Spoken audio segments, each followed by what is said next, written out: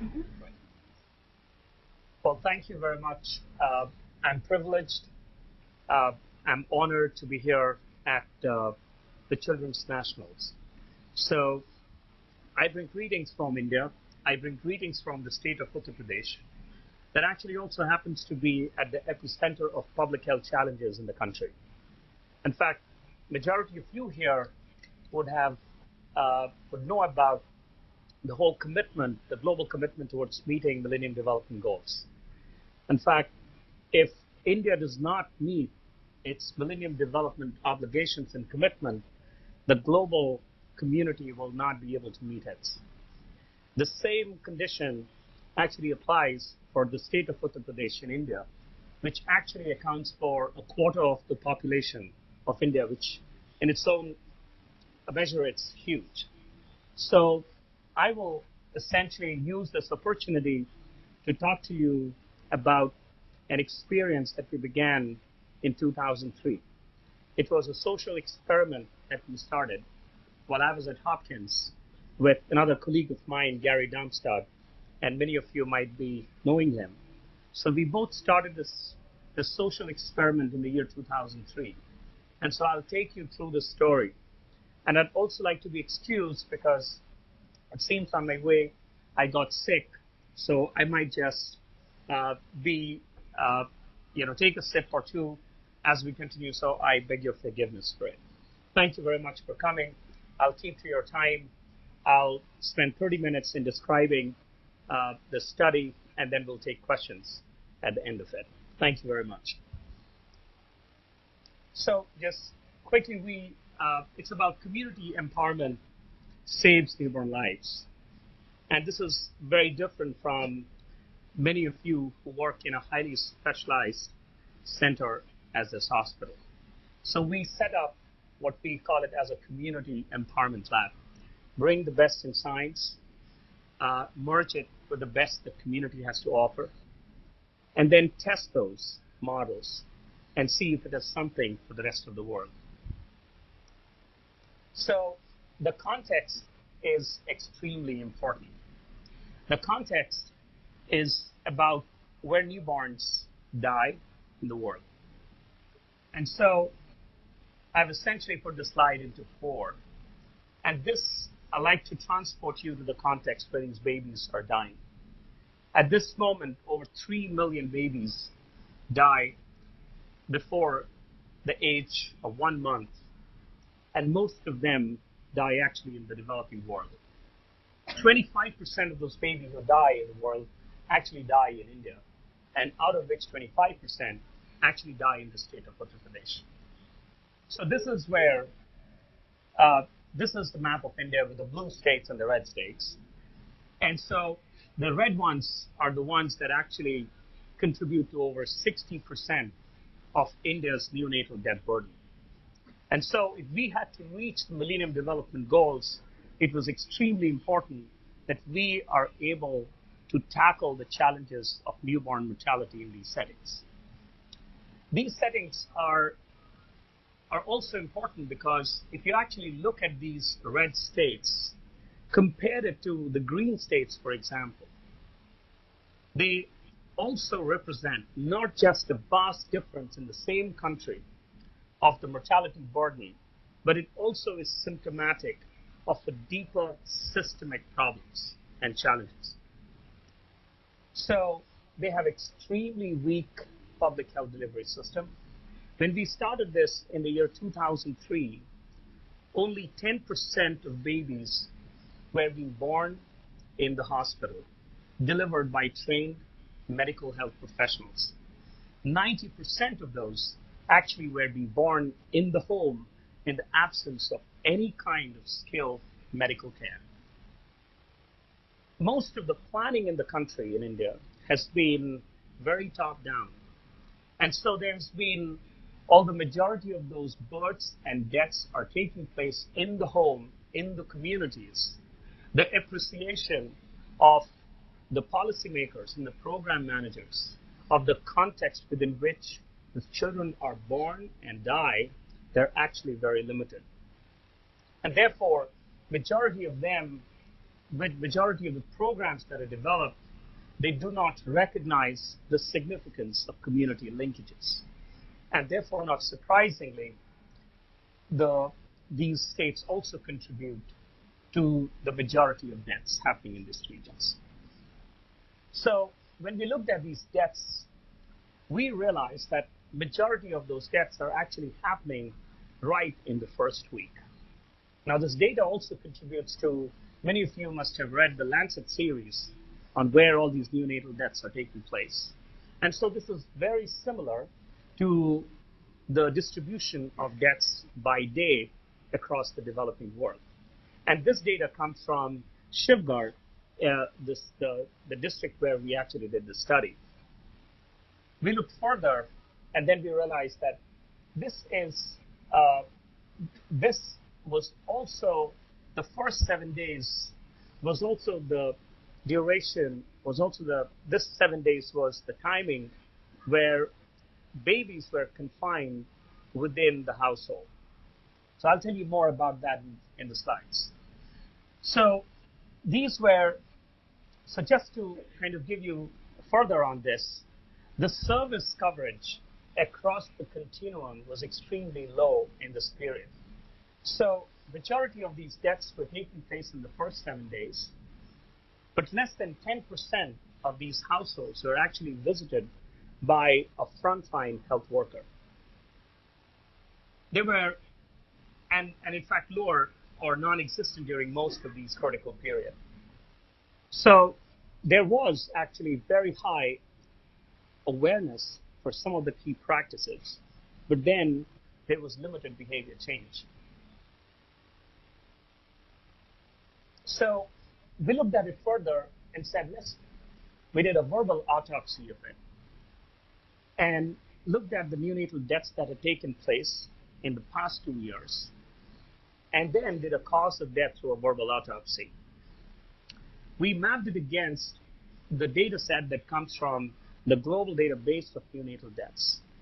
And we realized that majority of deaths in high mortality region, where we have greater than 45 newborn deaths taking place for every thousand, majority of those babies are dying of infection.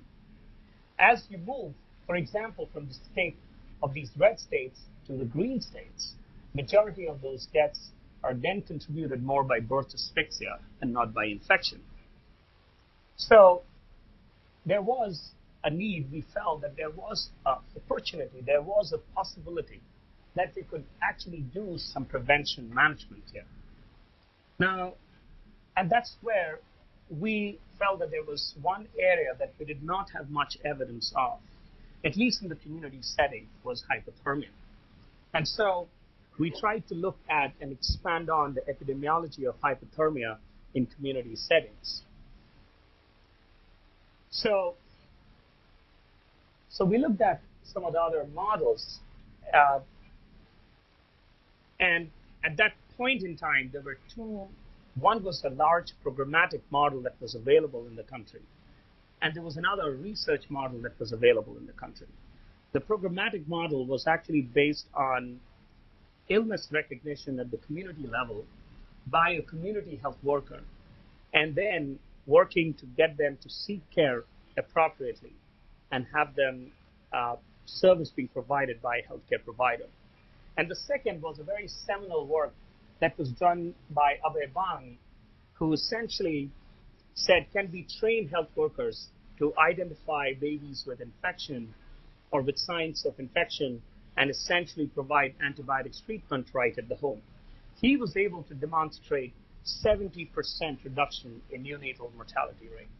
And this was done uh, in the western part of the country. So with this context for us, we knew that you could actually reduce neonatal mortality by an active case management. But for a country with very weak public health system, where even the uptake of essential newborn care or even breastfeeding was less than 10%, we needed a shift in the way we wanted to approach neonatal mortality reduction. And so we set up a site in Shivgarh, it's a high mortality region.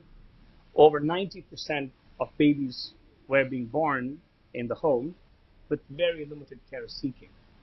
The neonatal mortality rate at the inception of the study and through the period of the study was 82 per thousand live births. So this is an unacceptable figure by any standards. One of the reasons we chose Shivgarh was we wanted a population that was representative of the larger population of the red states of the country. And so, so we picked up Shivgarh essentially for that reason, because we could test a model, and if that model worked or did not work, those results could be generalizable to the larger population. We set up a collaboration, and that's where, on my way uh, to the talk, I was talking to Dr. Nalini Singh, and he said one of the core foundations of the success that we received was global collaboration. This was a collaboration between uh, the community of Shivgarh, between the local institutions in India, and global institutions like Johns Hopkins University. So, and one of the reasons I also bring it here is global health has been in the past several years, and thanks to the generosity of Bill and Melinda Gates, we have seen a, a surge in interest in global health. And so as I speak, I also would like to invite, and we'd be very open to collaborations for many different kinds because we believe these problems cannot be solved alone and it needs a meaningful partnership to do that. We set up a cohort there of 106,000 people to begin with, which should give us approximately 3,000 births every year. That was the numbers that we needed to recruit for 18 months to be able to see a difference. So we set up a surveillance site. We mapped every village, we mapped every individual, gave them a unique ID so that we could begin the trial. Before we started the intervention, we said it was very important for us to not to just take our learning that we had acquired as part of our medical training or public health training and then just take them there. It was extremely critical for us that we shift our paradigm towards trying to not see the community as a last mile that we wanted to reach or some solution that we had that we wanted to transfer. But it was important for us that we take pause, step back, and see if we could actually dive into the community and learn for ourselves without with an open mind just to understand what they do, why do they do. And so that's precisely what we did. And we felt that this formative research, this formative phase of trying to understand the community, trying to understand their practices, trying to understand how they reason was the most critical part of our entire social experiment and the learnings that we have. So we, in fact, in one of in my TED talk, we, I said before we actually began, the community was like a large, was an ocean that was intimidating. But once, and we were like the amateur scuba divers who had never actually experienced what life was beneath those. But once we did, the story was very fascinating, and that's the story that I want to share today. We we looked at so here you know, through the study, one key element of this entire experiment was trying to look at solutions at the confluence of science and local wisdom. We were wearing two hats and trying to integrate both of them at every possible junction.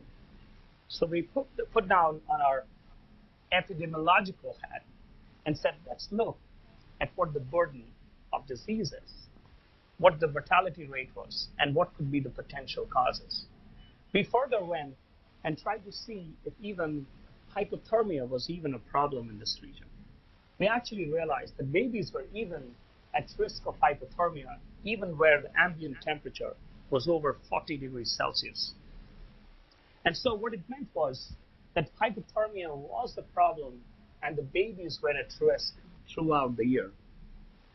We, we looked at this and then we mapped some of the community practices against the neonatal mortality.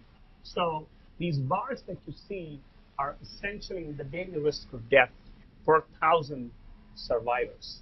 So day one, the risk of death is very high, and it, then it tails off, and most of those deaths happen in the first week. And we said, let's look at key practices in the community, and let's map it against them. We looked at, and we realized that the babies actually, when they're born, they're actually, most of the babies, as I said, were born in the homes. Most of them by unskilled women. The babies were directly delivered onto the ground. Most of the cases were mud floors.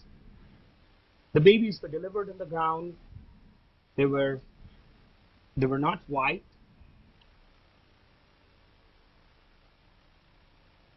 So in over 80%, the babies were not white at all. So we go further and realize they lie uncovered for greater than 60 minutes until the cord is cut. We move further, and then almost most of these babies are bathed and scrubbed within 24 hours. And I'll come to that later and explain that. And they're bathed three to four times in the first week.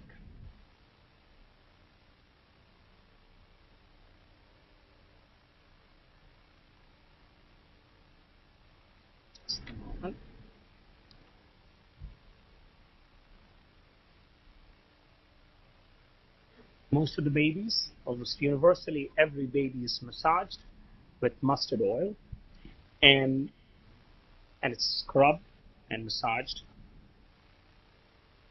and uncovered. And almost 80% of the babies are given some kind of a pre-lacteal feed, and overwhelming majority are not breastfed within the first hour. So, so if you look at these practices purely from a biomedical perspective, then they sound bizarre. They impose incredible risk for survival in the babies.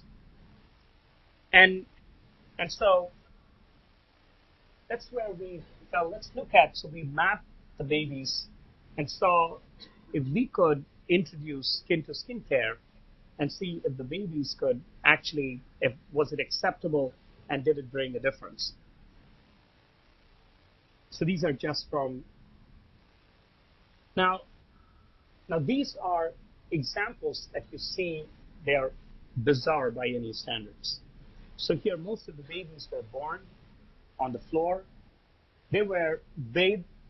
They were scrubbed, and and there was, and most of the babies were uh, at risk of developing hypothermia we look further, if you actually look at these practices, they all of them happen within the first week. And this is the first week when we look at the people, at the key people who actually were championing these practices, we realize that there is a caste-based role that was entrenched and traditionally followed for thousands of years. So we had, so during the first week, there is a woman who is from the lowest caste, who is known as a doman. She usually is from the untouchable caste, who actually comes in and who is called in when the baby is born. And she comes here to cleanse the baby. It's because the baby is actually thought to be within the nine months of pregnancy is considered to be nine months of amenorrhea, which is nine months of accumulation of dirt. And so the baby, when it is born, it is perceived to be polluted. And therefore, a woman needs to be brought in to cleanse the baby, who's actually somebody has to be more unclean than the pollutant itself to be cleaning. So it is the woman, who's mostly untouchable from the lowest caste, who is brought in, who scrubs the baby, removes the vernix. She takes clay from the pond, she She bathes the baby, massages the baby, removes the vernix, and then the baby is fed goat's milk. She is fed milk with a cotton wick for the first three days, and then the baby is put to the mother's breast. There's another woman who comes in slightly above the higher, on a caste hierarchy, slightly higher above the doman is the noun. She's the village masi. She comes in and her job is to massage the baby for the first month. She uses mustard oil, which we now find that it has potentially toxic properties. And so the babies are massaged. There is this woman, there is there is a priest who actually decides when the baby needs to be breastfed. And so we realize here that at no other stages in the life cycle of a baby was there more division of labor. And all these communities had come together and they had very clearly differentiated, traditionally defined roles around the newborn. So we found further that it is the women who actually are the keepers of family health, they are the preservers of family health, and they are the internal gatekeepers. And the men, on the other hand, they were essentially responsible for the economic health of the family. They were the seekers of opportunities, and they were the external gatekeepers. When we looked at these norms and tried to build an explanatory model for it, we realized that every practice that the newborn baby was subjected to could be explained by two factors. One was the whole notion of pollution, and the second was their notion of evil eye and the evil spirit. So babies, when they're born for the first week, the mother and the baby, they're confined in this room, which is known as a sore, which is usually the room which is the farthest cold, dark, damp room, which is essentially a room that has been used as a storage. And that's where the mother delivers the baby and confined for the first week. Because they believe that most of the babies die in the first week because of an evil spirit known as Jamoga. And therefore, they fortify this so that this Jamoga does not actually enter and kill the baby. The second part is the whole notion of pollution. They actually believe that the mother is polluted and therefore she needs to be restricted from going out of these of this of this sore outside and pollute other people. Besides, this pollutant also attracts this evil spirit. And therefore, the woman is confined and she is not allowed outside the household. And so, a combination of this whole notion of evil spirit on one hand that actually comes and kills the baby, and this notion of pollution, a combination of these actually explains why mothers are confined for seven days with very limited access of health workers inside as well as them to seek care outside from the facilities. So we could see this as either uh, a challenge or we could find or we could see this as an opportunity that we could translate that to our advantage. So, so we, we kind of looked at this and said, this is more like an inefficient system where majority of, it's like a thousand babies entering the system with 940, 940 essentially surviving at the end of it. And therefore, most of it could be explained by the practices that were there, family and community health practices. So this essentially set the stage for us to develop an intervention strategy for this. For example, we realized that these prevalent high-risk practices, they, they essentially could be, so we, we essentially mapped it and said, how do we now develop an intervention that can be implemented at the community level and then experiment if it has actually leads to a reduction in mortality. So we mapped the prevalent high risk practices against those targeted biomedical risk factors. So, for example, practices that were putting the babies at risk of hypothermia and infection were actually mapped against the biomedical risk factors of infection. And then we looked at behavioral interventions that could actually help mitigate that risk. And further, we said those risks then needs to be behaviorally modified and then see if those changes in practices actually could lead to mortality reduction. So for us, the goal was to identify key high-risk practices in the community that were putting the baby at increased risk of infection or neonatal death, and then target them through behavioral modification and see if that led to a reduction. So,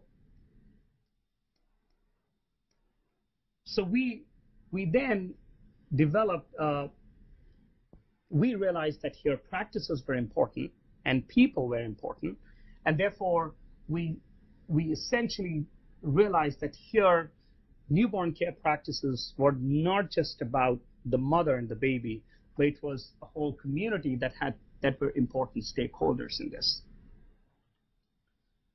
The timing was extremely important. So just as the first slide helped us understand which were the practices that we wanted to pick up that we could help target to reduce neonatal mortality, the target groups were those on which the intervention could be targeted. And these were when the interventions could be targeted. So the timing of these visitations very important. In, if you look at the normal coverage of health interventions in the country, less than 10% of them actually make a visitation on the first day. And we realized that it was extremely important that visitation had to be on day zero, day three, because that was the time that behaviors needed to be modified. So we plan two visits uh, in the antenatal period, one visit as soon as, as close as possible to the delivery, and then on day three of birth. We, now all of these had to be woven into an intervention that made sense to the community. Integrating all the epidemiological evidence and the formative research findings into an intervention that could make sense to the community was of paramount importance. So we had, we, when we realized that all the practices that babies were subjected to that were that put the baby at increased risk of infection were exactly the same that put the babies at increased risk of hypothermia. The difference between infection and hypothermia from a community perspective was they believed infection was caused by an evil spirit that they had no control over. For hypothermia, it was something that could be communicated to them. It was something that they could see for themselves through a thermometer, for example, or through perception, touch perception. We felt that if we were to target hypothermia, we would be able to shift the cause from evil spirit that was beyond their control to something that could be brought within their realm of of uh, of what they could do for themselves. So, for example, hypothermia was something that they could prevent. Hypothermia was something that they could manage, and therefore, instead of talking of the evil spirit or infection we essentially brought in hypothermia and introduced skin-to-skin care as a potential intervention to do so. From a behavior change management perspective, we positioned skin to skin as a super behavior. From a community perspective, it was important that we are able to introduce a practice that could actually pull other practices together. In other terms, it could serve as a gateway behavior and help communities and families uptake other behaviors. So we introduced skin to skin as an intervention which was primarily aimed at addressing the risk of hypothermia, something that was within their control. While they practiced that and put the baby on a skin to skin, and we they realized that when the babies root for the mother's breast, they should be allowed to breastfeed. And we used behavior change management strategies, a whole communication strategy to help make that move. So this is just a, a scheme of how the intervention uh, was delivered. And essentially, this entire intervention was packaged in the form of some key messages that resonated with their cultural sensitivity. So, for example, they never planned for the baby's delivery or birth. And so even now, majority or almost universally, babies are not named before birth. In fact, they're named several weeks after birth because the risk of death is very high. And so here we train community health workers. And at that point in time in 2003, 2006, we did not have dedicated community health workers in the country to provide newborn health interventions. So we trained them, and their goal, instead of just delivering messages, they were essentially, they went through a whole process of assessing the needs of the community, planning for some of those key interventions and its uptake, negotiate and transfer skills, and then support the family change their behavior. We'll give you an example of of birth preparedness. There is a taboo around birth preparedness because they actually believe that it could actually jinx and increase the risk. And so we gave them examples from right within there is an agrarian society, majority of them are farmers. And you said, tell me two events in your life which you really plan. Said marriage of a daughter and and agriculture. But said these are two very critical uh, events where they really plan. I said, why do you plan? We planned because any we we wanted to make sure that the outcome was predictable. We said you actually plan. And we just need to extend that argument to say we need to do the same thing for the baby. Or we could use another example of how do you wrap the baby and how do you wipe the baby and dry the baby. So when a mother is goes to a pond, takes a shower, she comes out, and the first thing that she does is wipes herself, dries herself, and wraps herself in a sari and covers her head. Well, that's exactly what needs to be done to a baby. So we use these simple example to develop what we call it as cognitive resonance that could resonate with their own reasoning and help them shift. We, of course, had a, this was a randomized, a cluster randomized controlled trial, and therefore I won't go into this, but just to give you some sense of, uh, of the different things that we did,